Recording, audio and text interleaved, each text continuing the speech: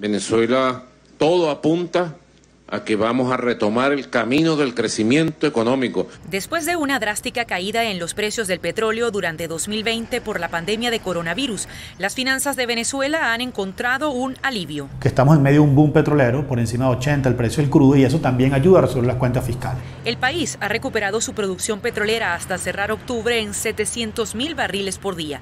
Esa cifra es un golpe de oxígeno, pero es insuficiente para despegar una economía que lleva ocho años en recesión el tema es que Venezuela no ha podido aprovechar esta nueva, este nuevo boom petrolero, básicamente por dos razones. Primero, por una caída muy, muy grande de lo que es la producción petrolera.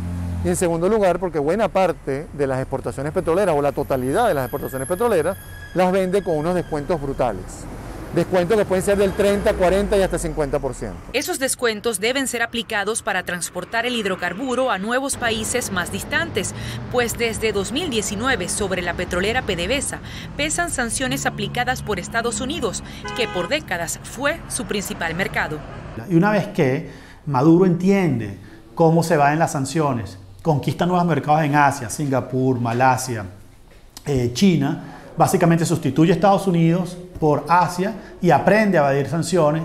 Se está recibiendo mucha ayuda de varios países que también han, sido sancionados y que están con un know-how importante hacia Venezuela y le están haciendo recomendaciones y le están haciendo asesoría de dónde colocar ese petróleo y cómo colocarlo. La firma Ecoanalítica pronostica un crecimiento económico de entre 4 y 5% para 2022, sin embargo aclara que es un número ínfimo frente a un país que ha perdido 80% de su riqueza en 8 años. Adriana Núñez Rabascal, Voz de América. Caracas.